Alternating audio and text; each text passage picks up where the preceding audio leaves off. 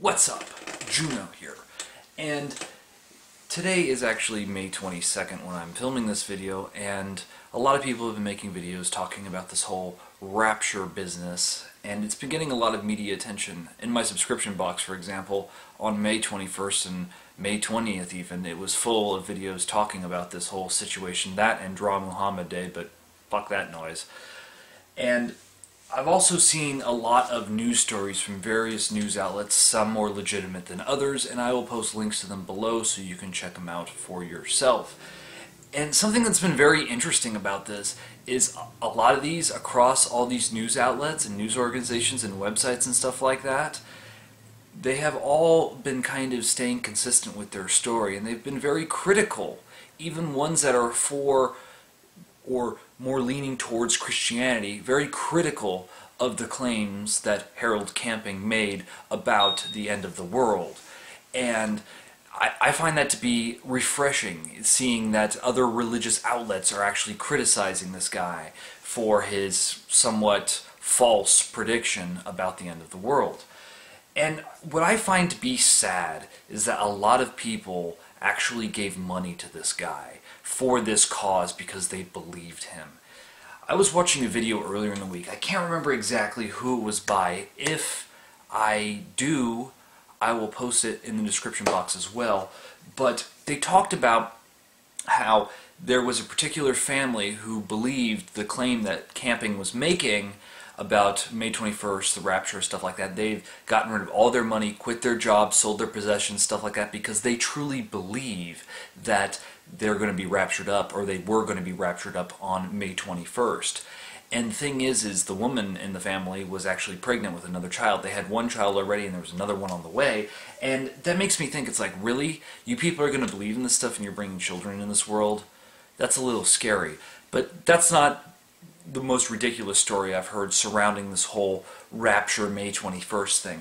There was a story probably about a month or two ago about a woman in Palmdale who attempted to kill her daughters by slitting their throats to avoid the tribulation times or the time, I guess, between the rapture and when the supposed God of the Christian religion is to destroy the world or whatever. So she was going to kill them in a way to, I guess, save them. Now that's insanity. And these people, again, are raising children, which to me is shocking and scary. But I'm not going to sit here and rip on the people who uh, took this advice literally. Because maybe they were misled, maybe they are not very bright, maybe they don't know how to think critically, maybe they truly thought this guy was being genuine.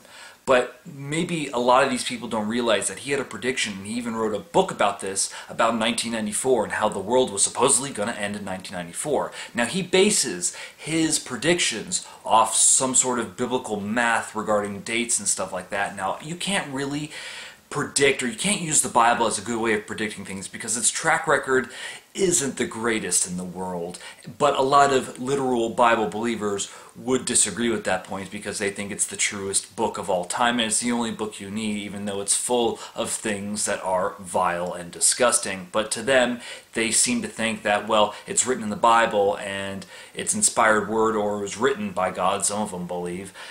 That means it's good. But even depicted within its own text, it shows the God of the Christian religion being a pretty violent, vicious being of sorts, and I don't understand why anyone would want to share this with children or take that as true. Why would you want to be subservient to a being that overtly hates your guts if the Bible is to be believed. That makes very little sense to me. But apparently some people don't see how that's bad or how that can just kind of destroy your morale, I would think. But you know, it's kind of it's kind of weird. I, I don't understand how, and especially something that I found to be kind of refreshing yet again is there's been more moderate or more, I guess, open-minded or I guess more sane Christians out there that said that Harold Camping is a fucking idiot. And I don't fucking blame them. I agree with them. He is a fucking idiot. And anyone else who has these doomsday predictions without any real empirical evidence and there's no data to back up their claims except their arbitrary math or trying to find a connection, kind of like how conspiracy theorists do. Eh, there's a lot of parallels between conspiracy conspiracy theories and religion, which I find to be fascinating. But, you know, conspiracy theorists, when they're trying to prove their point, will reach at a few facts that and try to connect them in some way to make them make sense to the average gullible person that will probably believe them even though when you really take a broader look at it or examine all the evidence it'll be pretty obvious that what they're making up here is absolute bullshit but something that's very interesting is this family radio network or whatever that he's built. Well, actually, Harold Camping was a civil engineer. He graduated from Berkeley, and then he, after in the 1970s, he sold his uh, construction business to do this radio station, and it claims it's a nonprofit. Apparently, it has 120 million dollars in value or something with it, and Harold Camping spent 100 million dollars on this advertising campaign that appeared in like I guess 80 cities around the country, which is ridiculous. But I want to know, and I'm curious to know, how much of this money came from contributors. And I'm going to play you a clip from his radio show and listen to his reaction to the caller who calls in. But shall we take our next call, please? Welcome to Open Forum. Yeah, can you hear me okay? Yes. Hey, I just wanted to, uh, I've been listening to you. I know there's a lot of people, older people, that have been, uh, believe what you teach about the world ending on May the 21st, 2011, that there's uh, quite a few people, older people and people like that, that have uh, been taking their life savings out and sending it to your radio station. I was wondering uh, if uh, on May the 22nd, do they get a refund? Well, the fact is, we don't ask anybody it's up to them why they, they excuse me what they are giving. We're not telling anybody what they are to give, and let each one uh, let each one make their own decisions on those matters. But thank Can you. Can I say something else? Yes. Okay, I just want to say that. Uh, you don't want to know you don't want to trick anybody. So on May the 22nd, they should get their money back. It's up to them if they want to give excuse it. Excuse me, excuse me, excuse me. May 22nd will be Judgment, the second day of Judgment Day.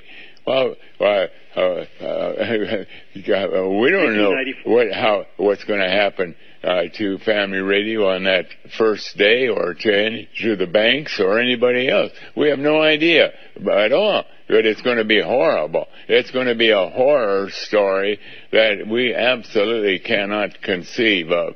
Millions of people will die on that day and every day thereafter, and uh, it's it's. Uh, uh, this this kind of conversation of what what what will we do uh, the next day. Uh, that doesn't make it's nonsense. It's utter nonsense because it is going to happen. This is what the Bible teaches.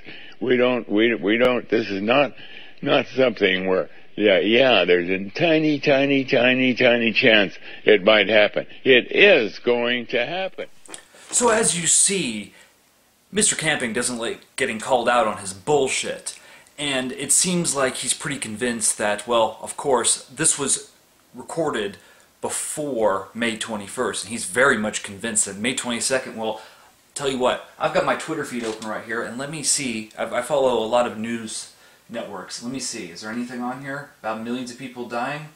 Nope. No stories of it yet. And it's kind of interesting to see that he doesn't plan on, it seems like, paying back any of the money. Well, if you donated thousands of dollars to this guy, you should ask for your money back. If he won't give it back, you should sue him. You should definitely sue him because he has swindled you. He has scammed you out of your money.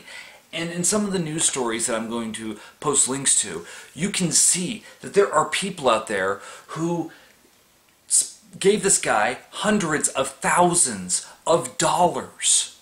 And now, where are they? They have no more life savings. They've quit their jobs, some of them. They've they've bought into this hook, line, and sinker.